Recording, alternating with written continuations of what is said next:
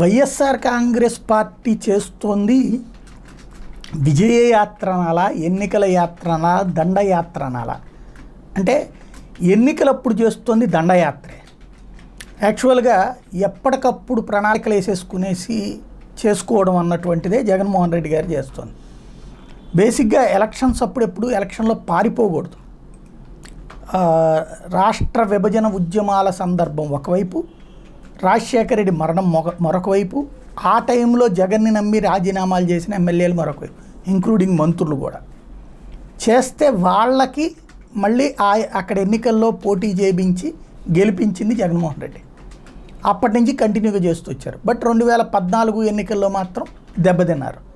అయితే ఆగకుండా ఆ తర్వాత చేసుకొచ్చినటువంటి చూసాం. ఇప్పుడు జరుగుతున్నటువంటిది ముఖ్యమంత్రి అయిన తర్వాత జరుగుతున్నటువంటిది ఏంటంటే ప్రభుత్వ వ్యతిరేకత పెరిగింది అని చెప్పిన ప్రతిసారి అది కాదని ఎలక్షన్స్ ద్వారా ప్రూవ్ చేసే ప్రయత్నం చేస్తున్నారు.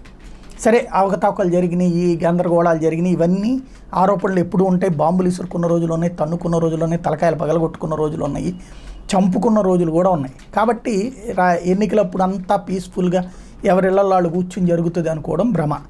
ఖచ్చితంగా జరుగుతూ ఉంటాయి. అందులో అధికారపక్షపు దాష్టీక ఉంటుంది ప్రతిపక్షం కొన్ని చోట్ల దాష్టీకాలు చేస్తుంది. ఎవరికి బలం ఉన్నటువంటి చోట వాళ్ళు కొన్ని కొన్ని చోట్ల చేస్తారు. అదే మొత్తం రాష్ట్రానికి వర్తించదు ఇక్కడ ఫార్మెట్ చూస్తే తిరుపతి మొత్తం Peddireddy Ramachandra Reddy serious concentration.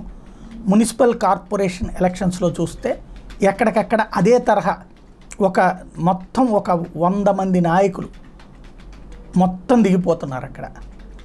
దాంట్లో కొన్ని కొన్ని ఈ వెధవాయత్వ పనులు కూడా చేస్తున్నారు. ఇతర రాష్ట్రాల నుండి ఓట్లు ఇప్పుడు మొన్న తిరుపతి పార్లమెంట్ నియోజకవర్గంలో తిరుపతి నగరంలో ఓట్లు తక్కువ వస్తాయి కాబట్టి డబ్బులు ఇవ్వలేదు కాబట్టి ఓట్లు తక్కువ వస్తాయి కాబట్టి వీళ్ళకి పదిహేను వందలు రెండు వేలు ఇస్తే ఆనదు కాబట్టి ఐదు వందల రూపాయలకి పక్క రాష్ట్రం నుండి లేకపోతే పుత్తూరు గిత్తూరు ఆ ప్రాంతాల నుండి పట్టుకొచ్చి ఐదు వందల రూపాయలు బిర్యానీ పొట్టలం ట్రాన్స్పోర్టేషన్. ఒక్కొక్కరితో నాలుగు ఓట్లు వేయించుకోవచ్చు. ఇలాంటి అవకతవకలు. ఇదొక తరహా దండయాత్ర. రెండో పక్కన ఆటోమేటిక్గా పడే ఓట్లు ఎట్లాగో పడతాయి. అంటే ఇక్కడ మెజారిటీని ఎక్కువ చేసి చూపించడం ద్వారా డీమోరలైజ్ చేయటం. అదే అంటే దయాగాడి దండయాత్ర టైప్లో జగన్ దండయాత్ర అన్నటువంటి చేసుకెళ్తున్నారు. దీనికి ఎదురు వ్యూహం ఆటోమేటిక్గా ఉండాలి? ఇప్పుడు హుజురాబాదే హుజూరాబాదే సాక్ష్యం. అవతల మొత్తం అధికార పక్షం అడుగడుగున పైసలు మోహరించింది జనాలు మోహరించింది గ్రౌండ్ లెవెల్ నుంచి కౌన్సిలర్ నుంచి కార్పొరేటర్ నుంచి పంచాయతీ మెంబర్ ప్రతి ఒక్కళ్ళు అక్కడే ఉన్నారు. అసలు వేరే పార్టీ వాళ్ళు అక్కడ దిగడానికి ప్లేస్ కూడా లేదు. అంత నిండిపోయింది. ఇటు పక్కన భారతీయ జనతా పార్టీ ఈటెలా కలిసి చేసుకుంది ఏంటి? ఎందుకంటే రెండు విడివిడిగానే ఉన్నారా అంటే కాదు ఈటెలు బీజేపీలో ఉన్న. ఈటెలకి సొంత శక్తి ఉంది. అది అందరూ కలిసి సమన్వయం చేసుకుంటూ అడుగడుగు మూవ్ చేసుకుంటూ సాగినటువంటిది ఒక అతిపెద్ద యజ్ఞం. అక్కడ అంత ఏది వందల కోట్ల రూపాయల వ్యవహారం పది లక్షలు ఒక్కొక్కరికి ఇచ్చేటువంటి కాన్సెప్టులు పెట్టినా కూడా గెలవగలిగిందంటే అది.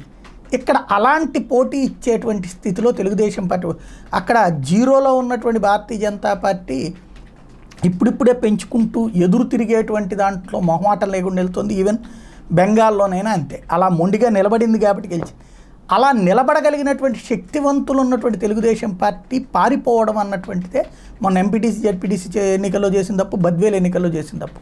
ఎప్పటికైనా ఇంకోసారి అలాంటిది రాకుండా రేపు మినీ పోల్స్లో ఖచ్చితంగా ఇప్పటి నుండినే అడుగు రోజు సమీక్షలు చేస్తున్నారు. కానీ ఆ మినీ పోల్స్ గురించి సమీక్షించట్లా. ఖచ్చితంగా సీరియస్గా దృష్టి పెట్టి మినీ పోల్స్ గెలుచుకు తీరాలి అన్న కసితో పనిచేయాల్సినటువంటి బాధ్యత తెలుగుదేశం పార్టీ అధినాయకత్వంతో పాటుగా గ్రౌండ్ లెవెల్ కేడర్ దాకా ఉంది. ఈ అవకాశాన్ని గనక మిస్యూజ్ చేసుకుంటే రేపు రెండు వేల ఇరవై నాలుగు ఎన్నికల్లో రెండు వే పంతొమ్మిది వందల తొంభై తొమ్మిది రెండు వేల నాలుగు రెండు వేల తొమ్మిది ఇట్లా లెక్కలేసుకునేటప్పుడు తొంభై తొమ్మిదిలో అప్రతిహాత విజయం రెండు వేల తొమ్మిదిలో నోటి దాకా వచ్చిన ముద్ద పోయింది.